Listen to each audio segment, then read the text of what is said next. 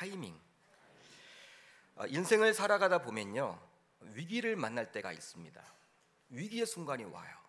그러니까 우리 인생 가운데 위기만 없다면 정말 살맛이 날 텐데 행복할 텐데 위기가 여러분 곳곳에 여러분 있어요. 그 위기를 만날 수밖에 없습니다. 누군가는 위기를 기회로 삼으면 된다. 기회로 만들면 된다. 위기 그것을 여러분 바꿔 말하면 기회가 될 수도 있다. 그렇게 여러분 이야기하는 분들이 있잖아요. 뭐 그렇게 말을 내뱉지만 실제로 위기를 만나게 되면요. 굉장히 이겨내기가 쉽지가 않아요. 쉽지가 않습니다. 그런데 이러한 인생의 다양한 위기는 불신자들뿐만 아니라 저와 여러분들과 같은 신자들에게도 몰아닥칩니다. 마치 하나님께서 불신자들에게도 빛도 주셨고 공기도 주셨고 또 물도 주셨듯이 마찬가지로 이 위기도 불신자들만 몰아닥치면 좋을 텐데 신자인 저와 여러분들에게도 비켜가질 않아요. 우리들도 만날 수밖에 없다라는 사실이죠. 만약에 인생의 위기가 불신자들에게만 몰아닥친다면 찾아온다면 이 세상에서는 불신자들을 거의 찾아볼 수가 없을 거예요. 여러분 그러지 않겠습니까? 불신자들만 위기를 만난다. 다들 여러분 예수 믿을 거 아닙니까? 그러나 하나님께서는 그러한 방식으로 불신자를 신자로 만들지는 않아요. 그러한 방식을 택하지는 않습니다. 오늘 우리가 살펴보게 될 이사야 55장에 나오는 이스라엘 백성들도 스스로의 힘으로는 감당하기 힘든 인생의 위기 속에 놓여져 있었습니다. 우리들은 자유를 가지고 살아가죠. 자유롭게 말을 하고 자유롭게 행동을 합니다. 또한 자유로이 공부를 하고 자유로이 직장도 선택하고 자유로이 사업도 하고 자유로이 친구도 사귀어요. 또 배우자를 고를 때도 내 자유에 맞게 고를 수도 있습니다. 자유로이 우리는 매 시간 이렇게 이 장소에 나와서 예배를 드립니다. 매주 우리가 교회당에 나와서 자유로이 하나님 앞에 예배할 수가 있죠. 한마디로 자유로이 살아가면서 부딪히는 인생의 위기로 인해서 힘겨워할 뿐이에요. 그러니까 자유는 우리들에게 보장되어 있죠. 그러니까 여러분 얼마나 감사한지 모르겠어요. 우리들은 태어날 때부터 이 자유롭게 말하고 행동하기 때문에 이 자유의 귀중함, 소중함에 대해서 잘 알지 못하지만 여러분이 광명에서 북쪽으로 정말 몇십 킬로만 가도 이 북한 땅이잖아요. 여러분 북한 땅에 우리가 태어났더라면 어찌할 뻔했습니까? 이렇게 하나님 앞에 나와서 마음껏 예배할 수도 없다라는 거예요. 이사할 수도 없습니다. 자유롭게 말할 수도 없고 자신의 생각을 이야기할 수도 없고 항상 여러분 짜여진 틀 안에서 살아가야 하는 것이죠. 우리들은 그러다 보니까 이렇게 어릴 적부터 또 태어날 때부터 이 자유롭게 살다 보니까 이 자유롭게 살아간다는 이 자체에 대해서 굉장히 감사함이 없는 것 같아요. 그러나 여러분 정말 우리는 감사해야 하는 것이죠. 오늘 말씀의 배경인 당시 이스라엘 백성들은 자유가 없었습니다. 자유가 없었어요. 자신이 하고 싶은 대로 자유로이 말하고 행동하고 선택하고 신앙생활도 할 수 없었어요.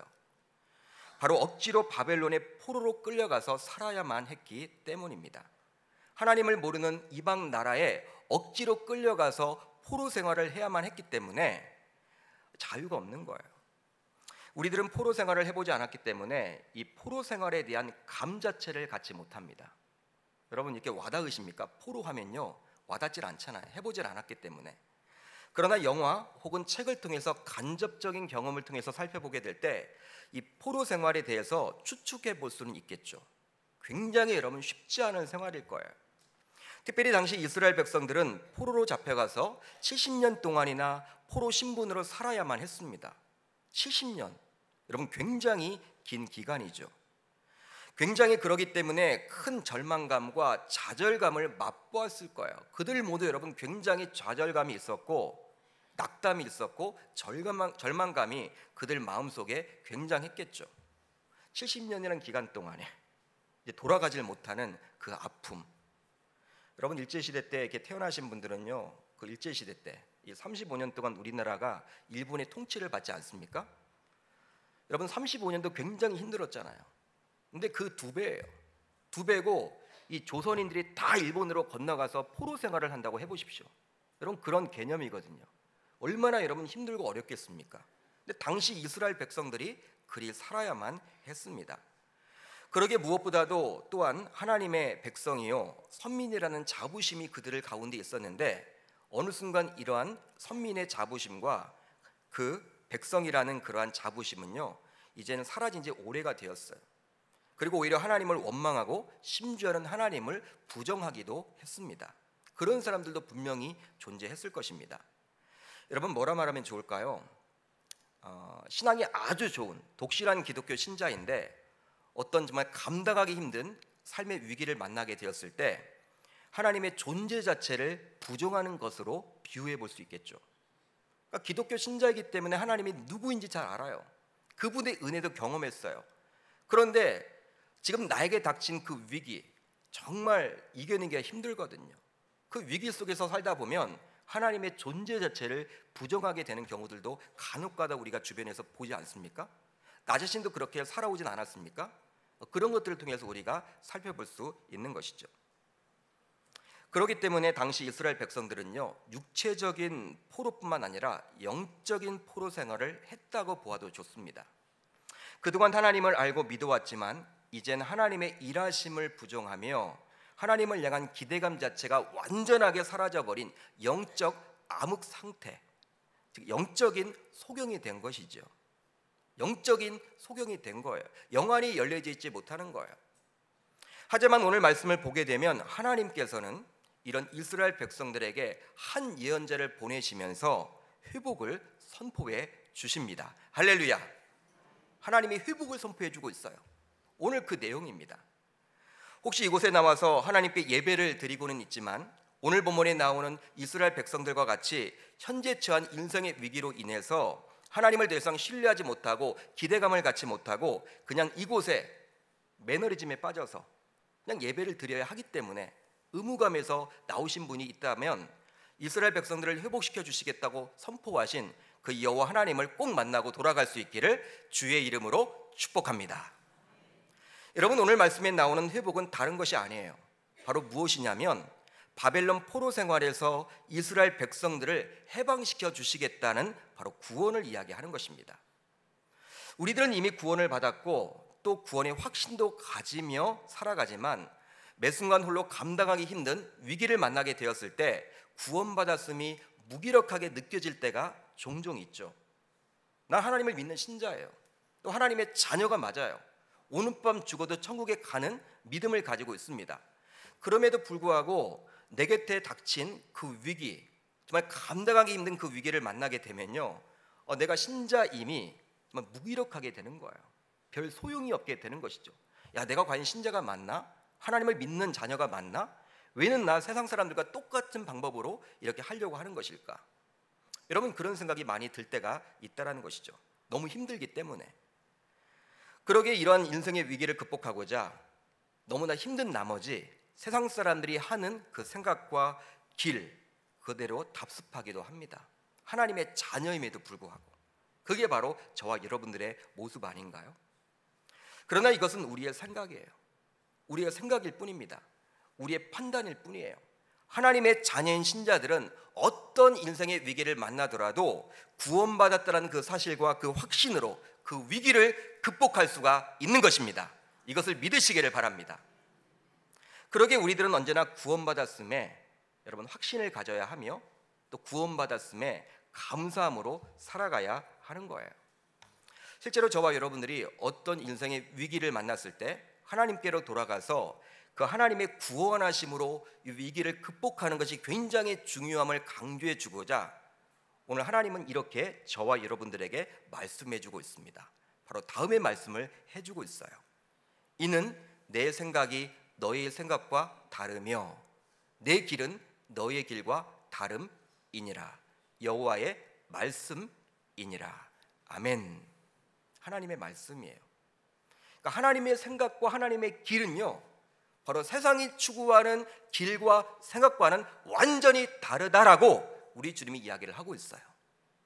그렇기 때문에 어떤 인생의 위기를 만나게 되더라도 그 세상의 길과 세상의 생각을 따르지 말고 나의 길과 나의 생각을 따르라고 우리 주님은 우리들에게 호소하고 있는 것입니다.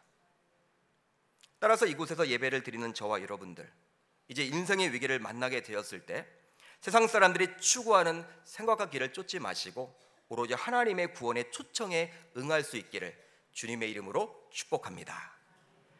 그렇다면 하나님의 구원의 초청은 무엇일까요? 하나님의 구원의 초청은 무엇입니까? 바로 다음과 같습니다. 오라 너희 모든 목마른 자들아 물로 나오라 돈 없는 자도 오라 너희는 와서 사 먹되 돈 없이 값 없이 와서 포도주와 젖을 사라 아멘 여러분 이 구절에서 사 먹되 돈 없이 값 없이 와서 포도주와 젖을 사라 이 부분이 한번 주목을 해보세요 여기서 사먹되라는 단어는 바로 돈을 지불하다라는 의미입니다 돈을 지불하는 거예요 그렇죠? 근데 우리 주님께서 지금 포도주와 젖을 사 먹되 그러니까 돈을 지불하되 또 돈은 내지 말래요. 여러분 모순된 말처럼 느껴지죠? 여러분 하나님이 왜 이런 말을 할까요? 이걸 어떻게 해석을 해야 될까요? 아 현금은 내지 말고 카드로 긁으라는 말이 나쁘다고요. 여러분 그렇게 해석을 해야 됩니까? 그런 말이 아니죠, 여러분. 예? 여러분 무슨 말입니까? 하나님이 분명히 포도주와 젖을 사 먹으래요. 사 먹는 것은 여러분 돈을 내는 거잖아. 근데 돈을 또 내지 말래요. 이건 여러분 어떻게 해석을 해야 될까요? 바로 누군가 대신 값을 지불하면 가능해지죠. 누군가 대신 값을 지불해지면 가능한 거예요. 여러분 누가 값을 대신 지불했습니까? 바로 여호와 하나님. 여호와 하나님이시죠. 이것은 하나님께서 주시는 구원을 이야기하는 거예요. 구원을 이야기하는 거예요. 구원은 목마른 자가 물을 마시는 것과 같은 건데요. 끝없는 갈증이 느끼는 모든 인간은 결국 목말라 죽게 되어 있습니다. 여러분 인간은요 끝없는 갈증이 있잖아요. 갈증, 이 목마름, 이 만족이 되지 않는, 충족이 되지 않는. 여러분 돈을 여러분 어느 정도 여러분 가지면요 이 만족이 될까요? 만족함이 있을까요? 여러분 차를 좋아하시는 분들은요 어떤 차를 타고 다니면 만족이 있을까요? 옷을 좋아하시는 분요 어떤 옷을 입으면 만족이 있을까요? 만족이 없어요 사람은요 항상 사람들은 목말라요 영적 갈증이 있는 거예요 만족 자체가 없으니까 여러분 그걸 추구하다가 결국은요 스스로 생을 끊는 분들도 굉장히 많잖아요 만족 자체가 되지 않으니까 충족 자체가 되지 않으니까 여러분 인생을 살아가면서 수많은 위기를 만나게 되잖아요 그 위기 속에서 헤어나오지를 못하고 결론적으로 비참하게 스스로 생을 끊는 분들도 우리 주변에 얼마나 많습니까? 여러분 우리나라가 OECD 국가 가운데 이 자살률 1위에 자살률 1위. 예전에는 교통사고 1위였잖아. 안 좋은 것은 항상 1위야. 막 술 소비량 1위. 막 이런 거 있죠. 자살률 1위에 자살률 1위. 얼마나 힘들면. 여러분 우리는 심심치 않게 자주 보게 됩니다. 교육자 생활을 하다 보니까 아, 우리 교회 이야기는 아니지만 그래도 우리 교회는 감사해 아직까지 없어서 저는 굉장히 여러분들 이 자살하신 분들을 굉장히 많이 봤어요. 자살하는 장례를 여러분 굉장히 많이 치러봤어요. 아마 이곳에서 예배를 드리는 여러분들도 동의를 하실 거예요. 동의를 하시겠죠. 보통 어떤 위기를 만나서 극복하게 되면 여러분 어떻습니까? 우리가 여러분 어떤 위기를 만나면요, 야, 이 위기만 극복하면 내가 행복하겠다, 평안하겠다, 기쁘겠다. 여러분 그런데 정말 하나님의 은혜로 그 위기를 극복하면 또 어때요? 또 다른 위기가 와요. 또 다른 위기가 와요. 자녀가 이렇게 많으신 분들은 아실 거예요. 저희 집도 여러분 자녀가 셋이다 보니까 어, 이렇게 여러분 막 감기 같은 거 여러분 걸리잖아요. 막 첫째 아이가 여러분 감기를 여러분 굉장히 걸려가지고 막 몇 주 여러분 고생을 했어. 어, 기도를 하죠 아버지로서. 어, 굉장히 여러분 힘들어 힘들어 하니까. 근데 여러분 첫째가 여러분 감기에 나으면요 이 둘째가 또 걸려. 둘째가 여러분 또 이제 막 이제 힘들다가 몇 주 지나서 여러분 나으면요 또 막내가 걸려. 참 여러분 우리 인생이 그래요. 위기가 여러분 없으면 좋겠는데 그 없, 없으면 좋겠다라고 기도하고 하나님의 은혜로 그 위기가 없어지게 되면 또 다른 위기가 닥쳐서 굉장히 힘들어져요. 그게 우리 인생이죠. 또 어떨 때는 어떻습니까? 또 어떨 때는요 위기가 여러분 한꺼번에 몰아닥치기도 해요. 그러기 언제나 인간은 외롭고 불안하고 고통스럽고 절망스럽기 때문에 스스로의 힘만으로는 절대로 그런 위기에서 헤어나올 수 없게 되는 거예요. 따라서 인간에게는 이 목마름을 해결할 수 있는 물이 반드시 필요한 것입니다. 그런데 문제가 있어요. 바로 인간 스스로의 힘만으로는 이 갈증을 해결할 물을 결코 마실 수가 없다라는 거예요. 여러분 왜 그렇습니까? 왜냐하면 이 물을 사서 마실 돈도 없고 실질적으로 자격도 없기 때문입니다. 그러나 이런 인간에게 하나님께서는 마실 물을 허락해 주셨습니다. 할렐루야. 그분이 여러분 허락해 주셨어요. 마실 물을 주셨어요. 마치 요한복음 4장에 나오는 수가성 여인. 수가성 여인 요한복음 4장을 보게 되면 지금 있는 남편도 여섯 번째 남편이야. 여러분 지금도 여러분 이혼을 여섯 번 했다. 굉장히 여러분들 정상적인 활동을 할 수가 없겠죠? 그렇죠? 그걸 정주해서는 안 되지만 2000년 전이에요. 2000년 전. 여성의 인권은 없던 그 시대에 결혼을 여러분 그렇게 많이 한 거예요. 사연이 있는 여인이었죠. 만족이 없는 거예요. 충족이 안 되는 거예요. 여러분 그런 삶을 살았지만 예수님을 만나서 그 예수님이 그의 영적인 갈증을 해결하도록 물을 주시죠. 그것이 바로 생수였듯이 하나님은 지금도 인간들에게 마실 물을 허락해 주십니다. 하나님께서는 이렇게 이야기를 하고 계세요. 너희 모든 목마른 자들아 와서 값없이 마시라. 값없이 마시라. 하나님께서는 모든 목마른 자들아라고 호소하고 있습니다. 그렇게 부르고 있어요. 여러분 모든 목마른 자들 즉 구원이 필요하다고 말씀하신 것이죠. 이것을 통해서 우리는 무엇을 알 수가 있냐면 하나님께서는 모든 사람이 구원받기를 원하신다라는 거예요. 실제로 이런 말씀이 있죠. 하나님은 모든 사람이 구원을 받으며 진리를 아는 데 이르기를 원하시느니라. 아멘.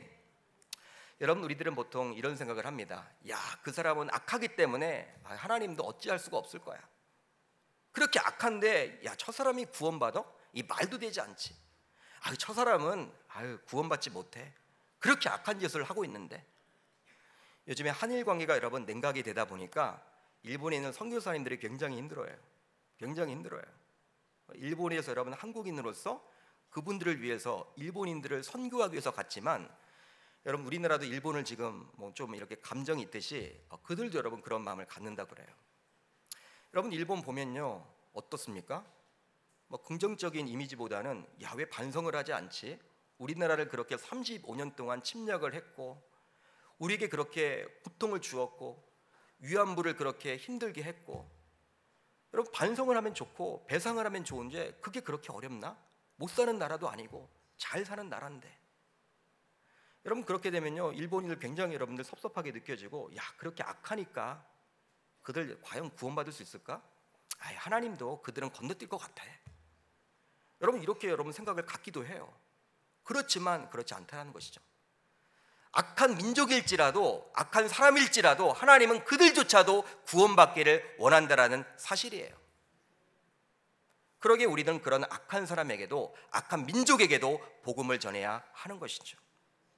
여러분 오늘부터 VIP 작정을 시작으로 사랑방 전도 축제가 본격적으로 시작이 되었습니다. 상반기 행복나눔 축제를 통해서 교회로 전도 대상자들을 초청해서 그들에게 구원의 복음을 전하는 데 초점을 맞추었다면 이제 하반기를 맞이해서 이 사랑방으로 전도 대상자들을 초청 모셔서 그들에게 그 사랑 방언들의 간증과 또 복음을 전하는 내 초점을 맞추는 거예요. 여러분 왜냐하면 아직까지도 복음을 제대로 이해하지 못하고 영적으로 목말라고 있는 자들이 우리 주변에 굉장히 많기 때문에 그런 모임을 갖는 것이죠. 여러분 사랑방 전도식지 안 해도 우리 교회는 새 가족들이 옵니다, 여러분. 이미 여러분 이렇게 세워진 교회이기 때문에 사람들이 와요. 그렇지만 우리가 왜 전도에 여러분 관심을 갖고 그들에게 다가가야 하는 것일까요?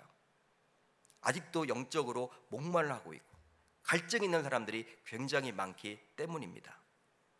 그렇다면 이제 구원의 길로 초대하는 주님께 우리들은 어떻게 반응하고 결단하면 좋을까요? 여러분 하나님이 우리들을 구원으로 초청을 해주셨는데 이제 우리의 반응이 어찌하면 좋을까요? 구원은 하나님께서 선물로 우리들에게 거저 주시지만 길거리에서 불특정 다수에게 주는 전단지와 같지는 않습니다. 그렇죠? 여러분 길거리에 나가 보면요 전단지를 막 뿌리잖아요. 불특정 다수에게 막 뿌리잖아요. 구원이 그런 건 아니에요. 그러게 이 구원의 초청을 스스로 받아들이기로 결단하는 자만이 이 구원을 받을 수가 있는 거예요. 따라서 이런 결단에는 다음의 요소들이 반드시 내포되어 있어야 합니다. 먼저 다윗을 통해서 주신 영원한 새 언약, 즉 예수 그리스도의 구속 복음을 듣고 받아들이는 믿음이 있어야 하는 거예요. 여러분 오늘 말씀 3절을 보시면 우리 한번 같이 한번 3절을 읽어 봅니다. 3절 시작 너희는 귀를 기울이고 내게로 나와 들으라 그리하면 너희의 영혼이 살리라 내가 너희를 위하여 영원한 언약을 맺으리니 곧 다윗에게 허락한 확실한 은혜니라 아멘 확실한 하나님의 은혜라는 거예요 하나님께서는 새 생명을 얻은 백성에게 주시는 언약이 영원하다는 사실을 다윗의 언약과 관련하여 설명을 해주고 있습니다. 하나님께서 다윗과 맺은 언약을 보게 되면 그의 나라의 위가 영원히 견고할 것이라고 말해주고 있어요. 바로 어떤 내용입니까? 바로 다음과 같죠. 내 집과 내 나라가 내 앞에서 영원히 보존되고 내 왕위가 영원히 견고하리라 하셨다 하라.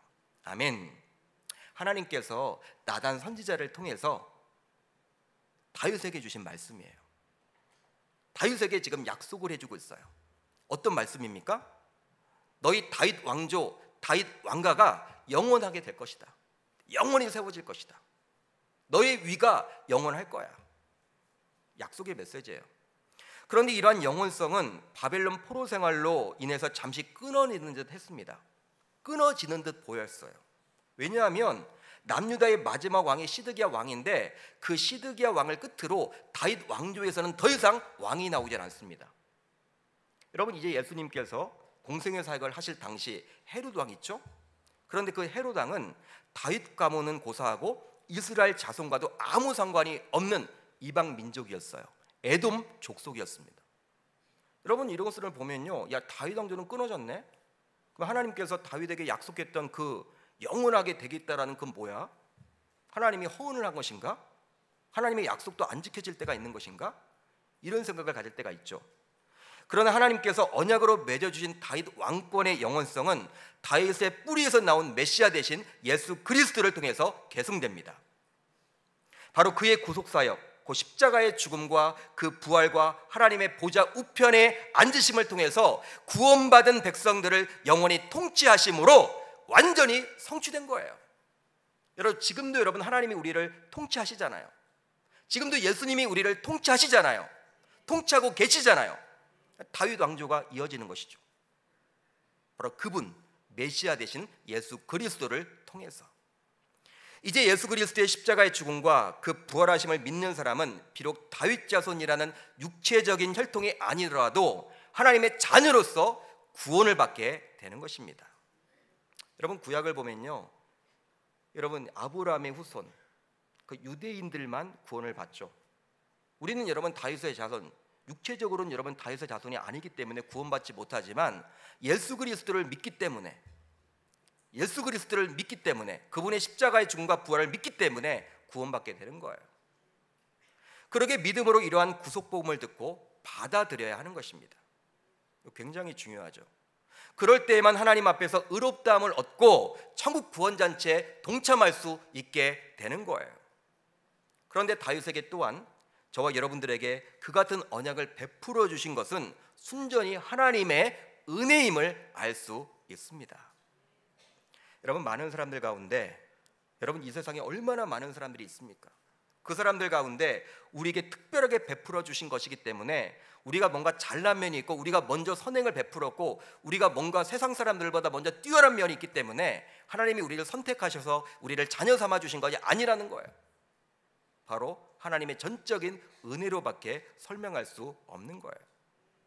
따라서 저와 여러분들은 이 베풀어 주신 하나님의 은혜를 꼭 기억하며 살아갈 수 있기를 바랍니다. 이제 다음으로 하나님의 용서하심을 확신하고 그 앞에 나아가 회개해야 합니다. 회개해야 돼요. 오늘 말씀 7절을 한번 우리 같이 한번 읽어 봅니다. 7절 시작.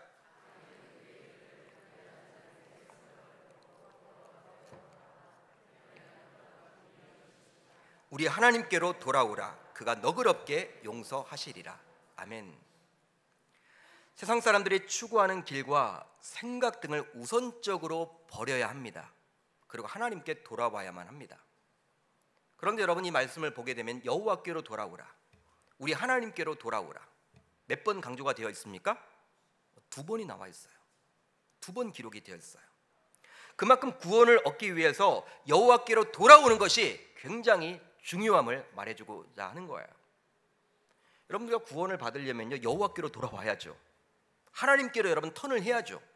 세상을 바라봤던 사람이 이제 하나님을 바라봐야 하는 것입니다. 그럴 때 우리가 구원을 받을 수 있는 거예요. 여러분 여호와께로 돌아온다라는 것은 곧 회개를 이야기하는 것이죠. 회개를 말해요. 회개를 통해서 이전에 가졌던 길과 생각에서 하나님께로 유턴을 하는 거예요. 우리가 운전을 하고 어떤 목적지를 가다가도 어, 반대로 길을 우리가 가고 있다고 느낀다면 어떻게 될까요? 여러분 어떻게 돼, 어떻게 돼야 합니까? 되도록 빨리 여러분 유턴을 해야죠. 그것이 바로 여러분 현명한 거예요. 예를 들어서 광명에서 인천을 가야 한다면 서쪽으로 가야죠, 여러분. 서쪽 방향으로 가야 돼요. 그런데 내가 막 한참 가보니까 막 동쪽으로 가고 있어. 동쪽으로 가고 있어. 여러분 동쪽으로 여러분 쭉 가면요 강원도가 나오지 인천은 안 나와요. 여러분 인천으로 가려면 어떻게 해야 돼요? 야 내가 잘못했구나 깨닫고 턴을 해야 돼요. 유턴을 해야 하는 거예요. 그래야지만 인천에 도착할 수가 있습니다. 마찬가지로 인생의 여정 속에서 지금까지 해왔던 세상의 길과 세상의 생각에서 여호와께로 돌이키는 것이 가장 빠른 지름길이 된다라는 거예요. 그렇다면 어떤 마음의 자세를 가질 때 우리는 보다 쉽게 회개를 할 수 있을까요? 여러분 회개를 해야 되잖아요. 하나님께 돌이켜야 하잖아요. 어떤 마음을 가질 때 할 수가 있을까요? 바로 내가 회개하면 하나님께서 너그러이 용서해 주신다라는 확신을 가질 때입니다. 내가 회개하기만 하면 하나님께서 너그럽게 용서해 주시는 분이에요. 이런 확신을 가질 때 우리는 쉽게 회개할 수가 있게 되는 거예요. 여러분 누가복음 15장을 보면 탕자의 뷰가 나오죠. 둘째 아들이 아버지에게서 받아간 분깃을 먼 나라에 가서 허랑방탕 다 쓰고 나서 이제 완전히 탕진을 하게 됩니다. 그 많았던 재산을 배가 고픈 나머지 돼지가 먹는 주염 열매라도 실컷 먹고자 남들이 여러분 하찮게 여기는 돼지 우리에서 열심히 돼지를 쳤어요. 그러나 주염 열매로 돌아오지 않아요. 그 주염 열매조차도 먹을 수가 없었어요. 그때 그 둘째 아들은 스스로 돌이켜 말을 합니다. 스스로, 돌이키는 거예요. 바로 지금까지 아버지를 벗어나서 세상의 길과 생각으로 살아온 곳에서 이제 아버지께로 돌이키게 되는 것이죠. 그런데 이 둘째가 다음의 것을 생각했기 때문에 아버지께로 돌아올 수가 있었어요. 무엇일까요? 바로 자신의 아버지는 종들을 대할 때 너그럽게 대하고 풍족하게 대함을 기억하고 자신이 이제 아들로서 아버지께로 돌아갈 면목은 없지만 내가 종으로서 돌아간다면 이 종으로서 나를 받아줄 것이라는 그 아버지를 신뢰했기 때문에 그 아버지의 너그러움, 그 아버지의 풍요로움, 용서하심, 그것을 기억했기 때문에 쉽게 스스로 돌이킬 수가 있었던 거예요. 따라서 저와 여러분들도 하나님을 신뢰하는 것, 즉 하나님께 돌이키기만 하면 하나님께서 너그러이 받아 주실 것이라는 그 확신을 가지며 살아가야 할 줄 믿습니다. 그렇습니다. 저와 여러분들 모두 다일상의 혈통은 아닐지언정 메시아 대신 예수 그리스도를 영접함으로 하나님 나라의 왕자와 공주로서 당당하게 살아가게 될 수 있게 된 것이죠. 또한 하나님 나라의 왕자와 공주로서 즉 이제 하나님의 자녀로서 세상에서 하나님께 돌이키기만 한다면 자녀이기에 하나님께서는 반드시 용서해 주시고 회복해 주신다는 그 확신을 가지고 살아가게 되는 거예요. 여러분 이러한 믿음의 확신 속에서 살아가기만 한다면 어떤 인생의 위기를 만나게 되더라도 그 위기보다 큰 하나님, 여러분 위기보다 더 큰 하나님, 문제의 유일한 키, 답을 알고 있는 그 하나님, 그 하나님의 자녀이기에 넉넉하게 그 위기를 극복할 수 있게 되는 거예요. 이걸 믿으시기를 바랍니다. 그런데 오늘 본문에서 중요한 점을 우리가 하나 발견할 수가 있어요. 이 부분이 중요해요. 바로 다음 구절인데 6절을 한번 우리가 같이 읽어봅니다. 시작.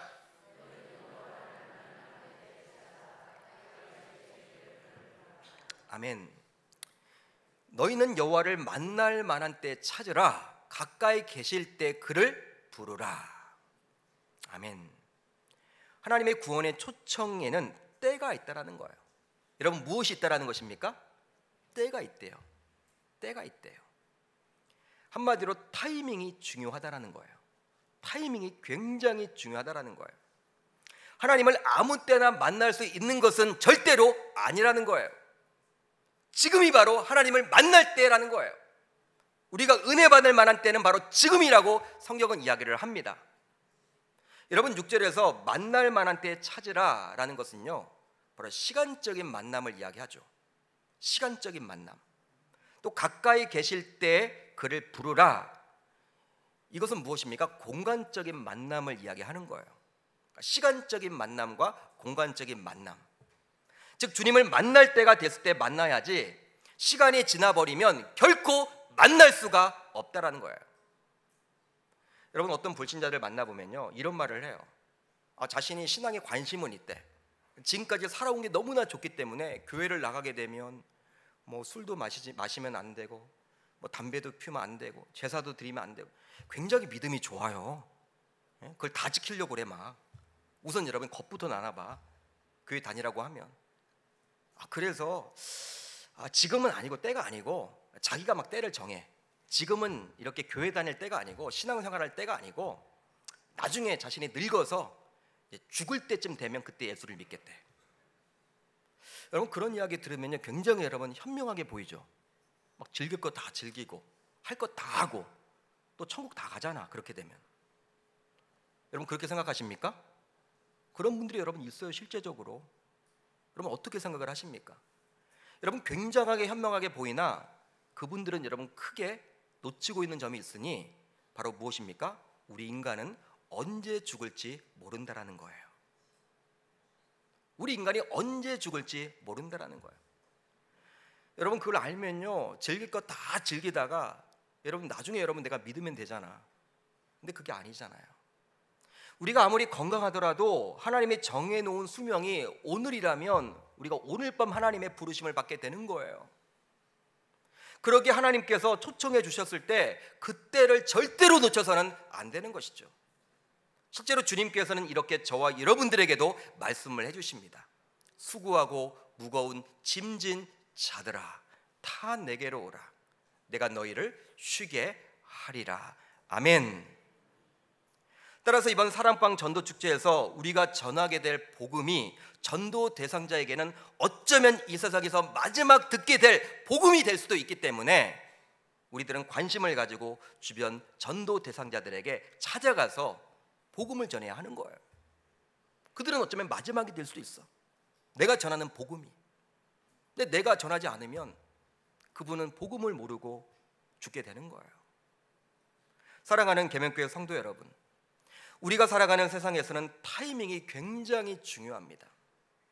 세상에서는 타이밍이 굉장히 중요해요. 이 세상에서는 타이밍을 놓치게 되면 손해를 볼 수도 있고 사고를 당할 수도 있고 고생을 할 수도 있고 기회를 놓칠 수도 있기 때문에 타이밍이 굉장히 중요해요. 여러분 예를 한번 들어볼게요. 아파트를 언제 구입할 것인가? 타이밍이 중요해요. 최고로 오를 때 사게 되면 손해가 막심해요.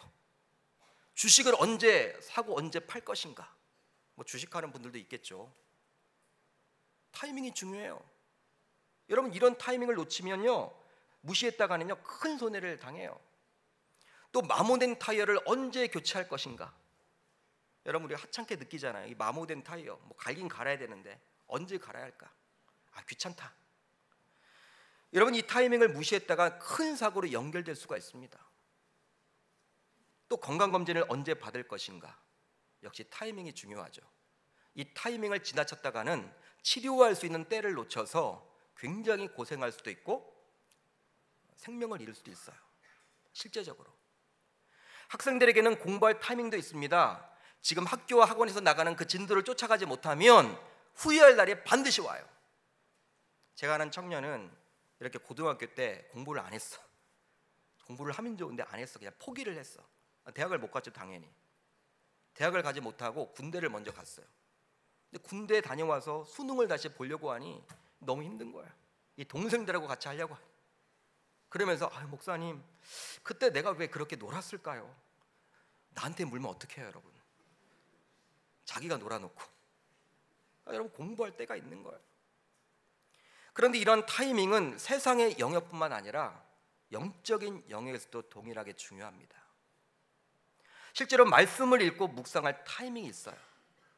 또 기도할 타이밍도 있습니다. 또 봉사하고 헌신할 타이밍이 있어요. 그러나 우리들은 어떻습니까? 직장 생활을 하고 사업을 하고 가정을 돌보고 학업에 열중하느라 영적인 영역의 타이밍을 놓치는 경우가 굉장히 많죠. 지금은 아니라는 거예요. 지금은 바빠서 안 돼. 내가 은퇴 이후에 하겠다라는 거예요. 아, 목사님 은퇴 이후에 교회를 좀 섬기겠습니다. 아, 지금은 너무나 바빠서 안 되겠습니다. 지금 건강이 너무나 열치 못하기 때문에 건강이 좋아지면 회복되면 그때 양육도 받고 또 사랑방도 나가고 전도도 하고 주의를 감당해 나가겠습니다. 여러분 신자들 사이에서도 이렇게 이야기하는 분들이 은근히 많아요. 그렇지만 분명한 것은 교회에서 봉사를 하고 양육과 훈련을 받고 말씀을 가까이 하고 기도할 타이밍도 역시 존재한다라는 거예요. 왜냐하면 우리는 우리의 미래를 내다볼 수 없기 때문입니다. 여러분 은퇴 이후에 주회를 하겠다. 지금은 바빠서 안 된다. 저는 여러분 더 바쁜 분도 봤어요. 은퇴 이후에 손주 보느라 더 바빠졌어. 언제 주회를 해? 천국 가는 그날까지 전혀 못해 그런 분들은. 여러분 아, 지금은 건강이 아, 그러기 때문에 아, 내년 1년만 좀 쉴게요 목사님. 여러분 내년 1년 후에 건강이 더 좋아진다는 보장이 어디 있어요? 더 나빠지면 그때 가서 여러분 안 하시면 되는 거예요. 왜 하던 색을 여러분 다 멈추려고 하십니까? 우리는 우리의 미래를 보장하지 못해요. 예측할 수가 없습니다. 여러분 그러기 때문에 이 영적인 영역에서도 타이밍이 굉장히 중요한 것입니다. 그러게 바쁘다고 느껴질 때가 오히려 주의를 할수 있는 최적의 타이밍이 될 수도 있음을 저와 여러분들은 꼭 기억하실 수 있기를 바랍니다. 여러분 이 예배 시간이 어쩌면 우리에게는 하나님을 만날 수 있는 최적의 타이밍이 될 수도 있어요. 하나님은 영이시기 때문에 눈에 보이진 않습니다. 그렇지만 이곳에 지금 좌정에 계십니다. 여러분 곁에 계셔요. 따라서 저와 여러분들은 주님을 만날 수 있는 이 타이밍을 놓쳐서는 안 되겠죠. 나에게 주어진 이 예배 시간. 우리가 1시간 20분 정도 예배를 드리는데 매주 이 1시간 20분 여러분 어떤 마음을 가지고 이 자리에 나오셨습니까? 하나님을 만날 수 있는 최적의 타이밍도 될 수 있다라는 거예요. 저와 여러분들에게 주어진 이 타이밍을 꼭 붙들어서 하나님의 초청에 응함으로 인생을 살아가면서 겪게 되는 여러 다양한 위기를 넉넉하게 잘 극복해 나갈 수 있기를 주의 이름으로 축복합니다. 오늘 말씀의 제목과 같이 주의 일에도 역시 영적인 타이밍이 있어요. 타이밍이 중요해요. 이제 이 가을 주님을 만나는 것에 더욱더 시간을 투자할 수 있기를 바랍니다. 또한 주님을 먼저 만난 자로서 아직도 주님을 모르는 자들에게 관심을 가지고 복음을 담대히 전할 수 있는 타이밍으로 삼을 수 있기를 주의 이름으로 축복합니다.